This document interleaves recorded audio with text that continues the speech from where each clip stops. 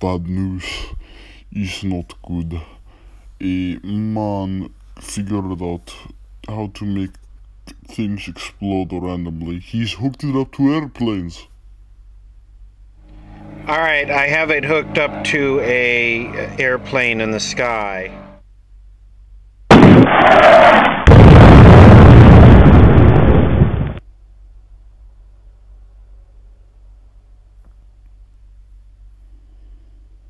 As you can see, this is not good.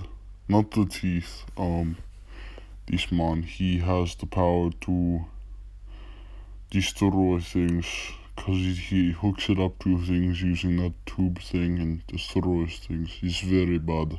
Everybody hide.